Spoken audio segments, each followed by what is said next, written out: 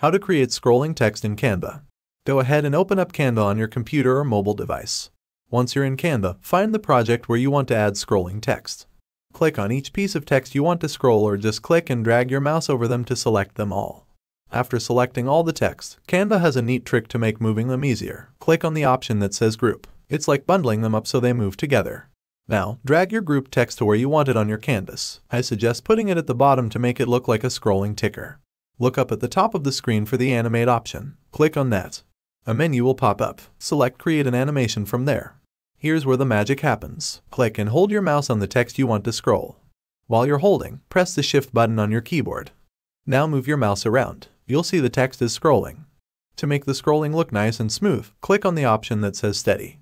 If you want your text to scroll faster or slower, you can tweak the speed. There should be an option for that. Take a look at what you've done. Make sure the scrolling text looks just how you want it.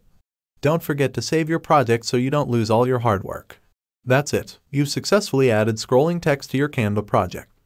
Thank you for watching. I hope you found this tutorial helpful. Don't forget to like this video and subscribe to our channel for more Canva tips and tricks. Until next time.